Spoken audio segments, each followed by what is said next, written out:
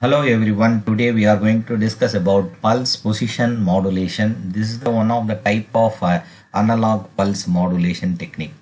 So in this uh, video we are going to discuss about how to generate pulse position modulated signal and also how to demodulate the pulse position modulated signal, how to extract our original message signal that we are going to discuss in this particular video.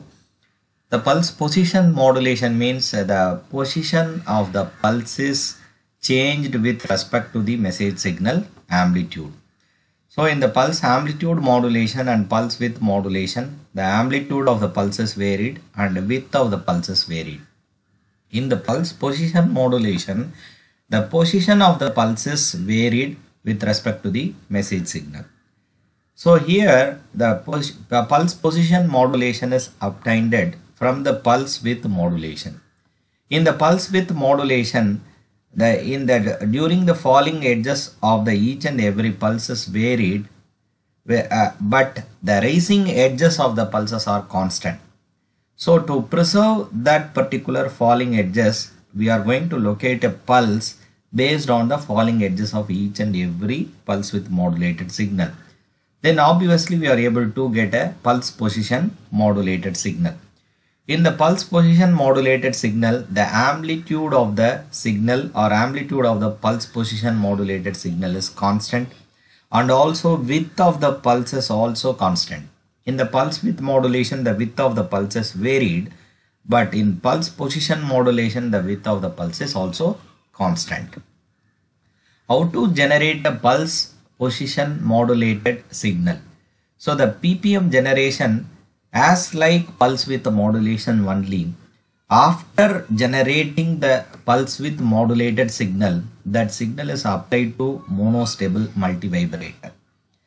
So here you are familiar when you are going to watch the previous video pulse width modulation.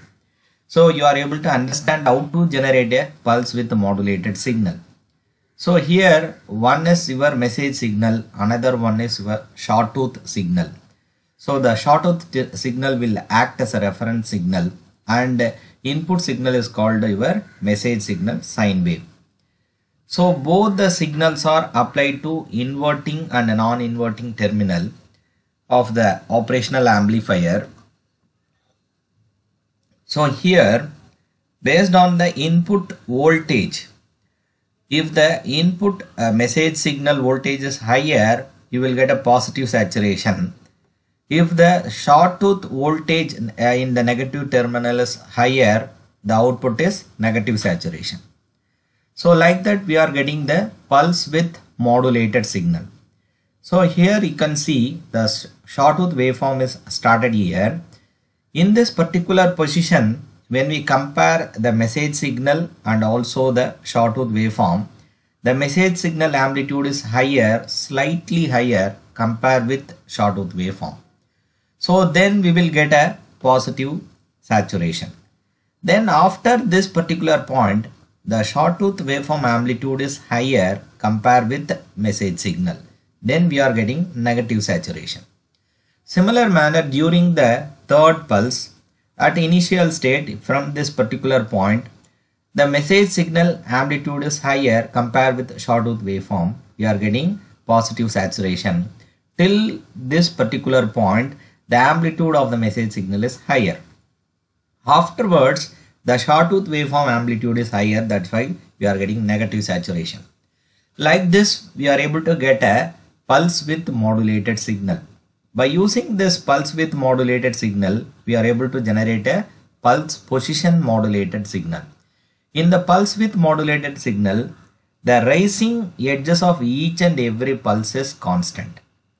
Only the falling edges varied with respect to the message signal. Then we have to preserve that falling edges. Then we are able to get a pulse position modulated signal. So in the falling each and every falling edges, we have to generate a short duration pulse. That is our objective. So here the pulse width modulated signal is applied to the monostable multivibrator. The monostable multivibrator is triggered during negative edges of the pulse width modulated signal. then based on that particular triggering, the monostable multivibrator will generate a short duration pulse. So that will be depends on the RC time constant of the monostable multivibrator. So then the uh, resultant output is pulse position modulated output signal. So this signal is transmitted and received. So while receiving we have to demodulate the original sine wave from the pulse position modulated signal.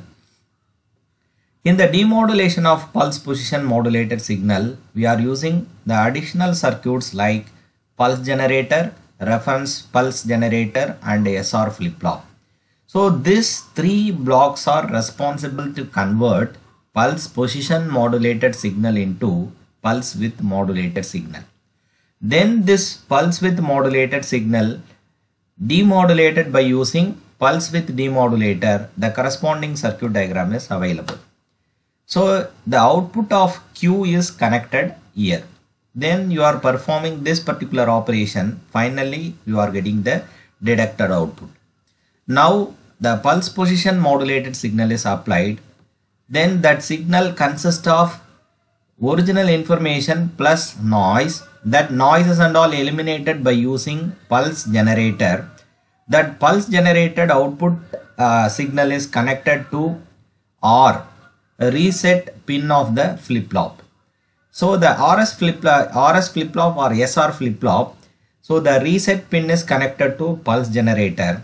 The reference pulse generator is connected to S terminal or set terminal. So here when we are going to apply this pulse position modulated signal so whenever this R terminal is 1 or R pin is 1 then you will get a output as 0. The remaining condition we are getting we are applying S as a input signal is 1 the corresponding output is Q is 1.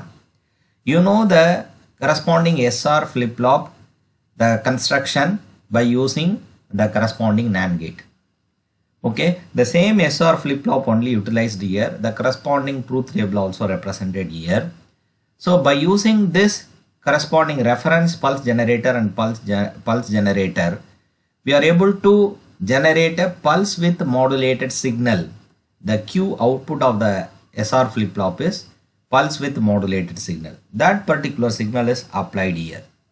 This entire block diagram representing pulse width demodulator. So here you know that in the previous video we are represented here the noises will be eliminated by using pulse generator. Then the ramp and pedestal generator. We are generating the ramp and pedestal signal. Then the reference signal is also generated. So this both the signals are added together. Finally, we are able to get a, a pulse amplitude modulated signal. That pulse amplitude modulated signal only clipped out by using clamper circuit then that signal is applied to low pass filter. The resultant output is message signal. The operation of this particular block diagram is already represented in the pulse width modulation video. So when you are going to refer that particular video, you are able to understand how to demodulate pulse width modulated signal. So by using this pulse width demodulator, we are able to generate a original message signal or sine wave by using this particular demodulator. The advantages and disadvantages of uh, pulse position modulation like pulse width modulation in pulse position modulation amplitude is constant then obviously we are able to eliminate the noise the interference domination will be less in pulse position modulation also. So we are able to easily separate the noise and the corresponding pulses. When you are going to fix a threshold above the that particular threshold whatever may be the voltage that will be eliminated or clipped out then your quality of the signal will improve. Because of constant pulse width and amplitude transmission power for each and every pulse is same in pulse amplitude and pulse pulse width modulation the transmitting power will vary with respect to the modulated signal but in pulse position modulation the transmitting power is constant because the amplitude and width of the pulse is constant. Disadvantage of uh, pulse position modulation. This is not pulse width, this is a pulse position modulation. Synchronization between transmitter and receiver is required. You have to synchronize both transmitter and receiver then only we are able to detect the signal. Large bandwidth is required for PPM as compared to pulse amplitude modulation. So that means both pulse width modulation and pulse uh, position modulation both requires more bandwidth compared with pulse amplitude modulation. These are all the disadvantages.